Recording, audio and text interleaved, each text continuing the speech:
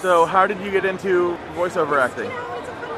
The you know the usual route. I studied acting first, and then I studied voice work. I studied uh, uh, the, both disciplines, commercial and character animation, uh, and then studied that long enough to be proficient enough to want to do a demo. Which is that's one of the big mistakes that beginning voice actors make is they, they rush out to get their demo, and if you're not fully trained, uh, a good producer will make a great demo which then means your demo's better than you are. Mm.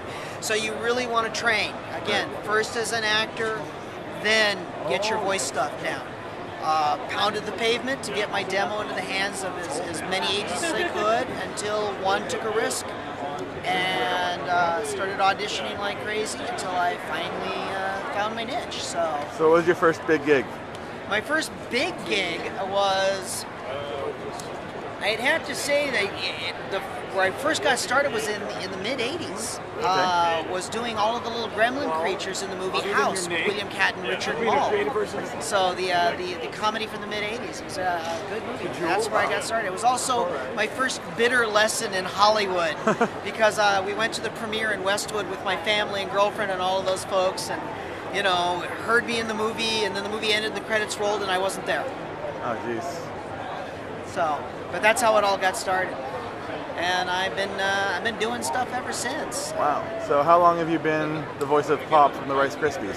Uh, I was a voice of Pop for Rice Krispies for four years. They, uh, they they change them out every every few years. I think the one just before me, I think, was Tom Adcox, and just before him, I believe, was Eddie Deezen And I don't know who the new guy is, but he'll likely be replaced in a couple years. I don't know why they always keep changing Pop. beats me. You know, And from what I understand, Snap and Crackle, on the other hand, have been together for like seven, eight years or more. It's, I don't know.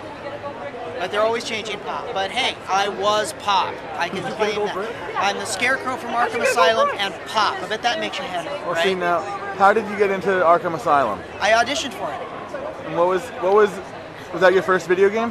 No, no. Warcraft? My first video game. My first video game was uh, Call of Duty: Roads to Victory. Yeah. Uh, um, a, a, lot of characters that sounded like this. They were from Brooklyn. You know, this whole, you know, screaming, crouch in a window a lot.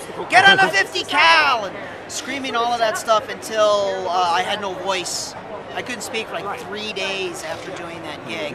In fact, I had a radio commercial to do shortly thereafter that had to be postponed a week because I, my voice was gone. Wow. And luckily, they didn't. The people in the commercial really wanted me, so they didn't recast. They were actually willing to wait a week for me to get my voice back. So. So what was what was the the Batman experience like? Surreal absolutely surreal. I mean, I'm working with people like Collette Sunderman and, uh, you know, and Mark Hamill and all these. I mean, just it, it, was it was mind blowing. It felt like uh, it felt like getting called up to the major leagues. You know, it was it was it was really really awesome. Really awesome. I, I loved it. It's, I've never been more proud or uh, have worked as hard on anything than I worked on Arkham Asylum. Now, how did you get involved in Warcraft? Warcraft, again, I auditioned.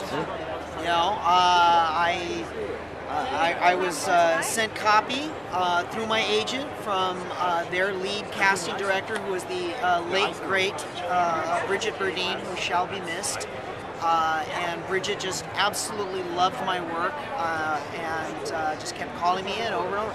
I, I first won the role of the Death Knight Gnomes and then after the Death Knight Gnomes, it was, well, Dino, let's see what else you can do. And before I knew it, I was getting cast left and right.